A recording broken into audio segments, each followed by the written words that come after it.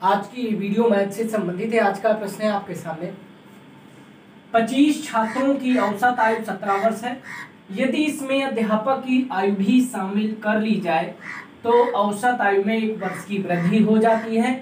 अध्यापक की आयु कितनी है? चलिए, इसको हल करते हैं। भाई, हल करने से पहले अगर चैनल पर नया है, अभी तक सब्सक्राइब नहीं कर लीजिएगा क्योंकि हमारे चैनल पर ऐसी नॉलेज प्रतिदिन अपलोड करी जाती हैं। नोटिफिकेशन पाने के लिए ज़रूर ऑन करिएगा। ध्यान दीजिएगा। पच्चीस छात्रों की औसत आयु दिया गया है सत्रह वर्ष। तो सबसे पहले हम क्या करेंगे? पच्चीस छात्रों की कुल आयु निकालेंगे।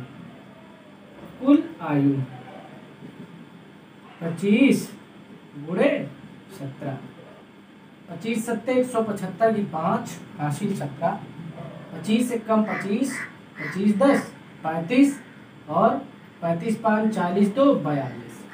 चार सौ पच्चीस।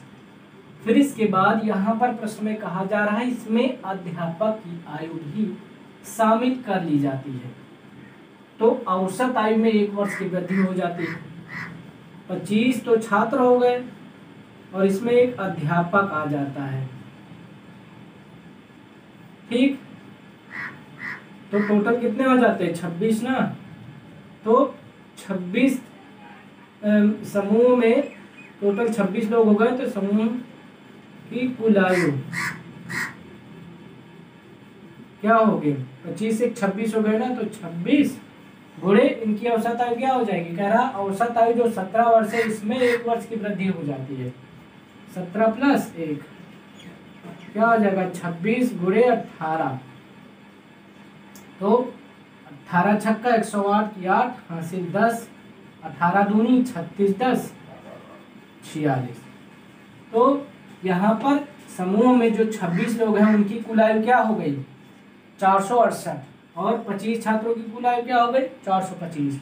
यहाँ पर हमें अध्यापक की आयु ज्ञात करना है। अध्यापक की आयु।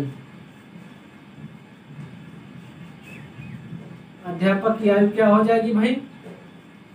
चार सौ अड़सठ से आप चार सौ पच्चीस घटा देंगे। आठ में से पाँच घटाओ क्या? तीन। छः में से दो घटाओ क्या आ जाएगा? तैतालीस वर्ष। ठीक? तैतालीस वर्ष जो है, अध्यापक की आयु है। यही हमारा आंसर हो जाएगा।